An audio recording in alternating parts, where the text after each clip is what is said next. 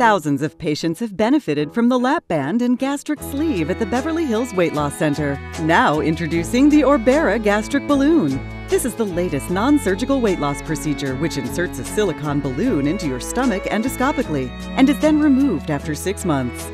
Call now to set up your complimentary consultation with Dr. Davtyan and learn more about the Orbera balloon, lap band, and gastric sleeve so you can decide which procedure is right for you. 844 41 Balloon.